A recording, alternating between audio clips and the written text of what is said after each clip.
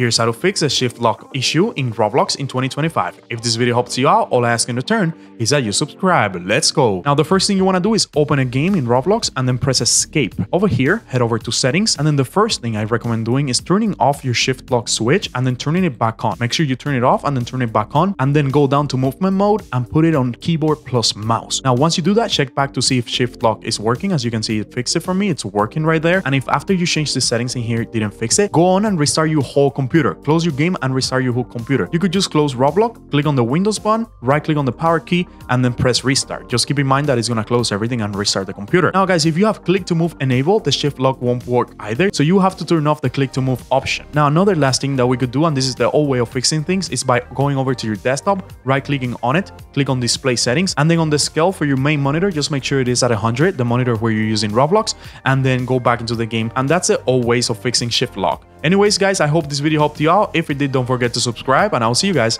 next time.